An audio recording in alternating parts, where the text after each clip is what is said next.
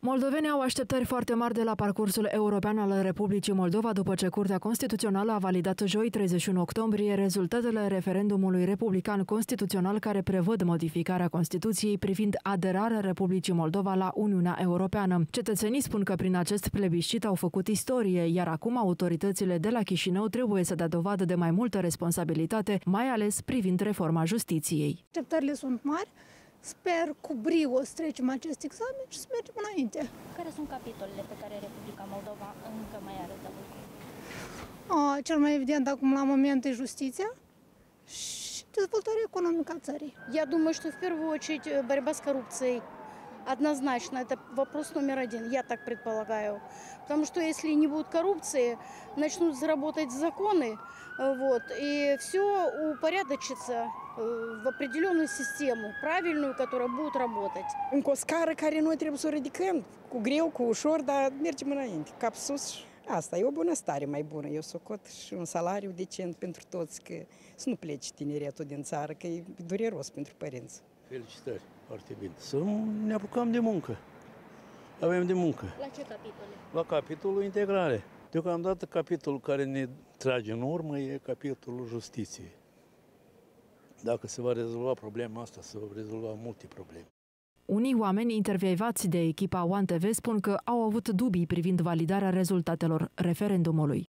Erau dubii, erau dubii că acolo sunt și controversați la Curtea Constituțională, care erau contra. Ați rămas mulțumit? Foarte mulțumit, dar pentru dânsul și-am luptat. E important ca Curtea Constituțională nu, nu există un organ mai superior.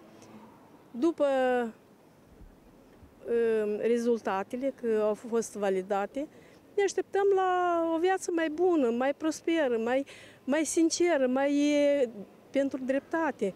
Cred că și Curtea Constituțională, chiar și, și toată justiția s-a schimbat părerea că de acum trebuie să judice corect și drept, nu cu sac cu bani, cum a fost până acum. Noi luptăm de mult, foarte de mult.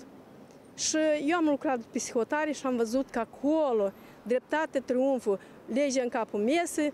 Dacă unii chișinăuieni se bucură de decizia în alte curți, alții spun că este o decizie controversată. Am văzut și prevalența asta minimă da, a voturilor, dar există și o prevedere legală care contravine acestei hotărâri a Curții Constituționale. Articolul 208 a Codului Electoral spune expres că referendumul constituțional republican va deveni adică este legal exercitat și legal efectuat doar în cazul în care se va decide asupra unei opțiuni majoritatea din persoanele care au participat la acest referendum. În cazul de față, noi avem procentajul de 48%, adică cu vreo 40 de mii de voturi mai puțin decât este necesar. Adică Curtea Constituțională a validat rezultatele plebiscitului care a avut loc în data de 20 octombrie, în cadrul căruia moldovenii au răspuns la întrebarea Susțineți modificarea Constituției în vederea aderării Republicii Moldova la Uniunea Europeană? Potrivit datelor publicate de CEC, pentru opțiunea da au votat 749.719 persoane, iar pentru opțiunea nu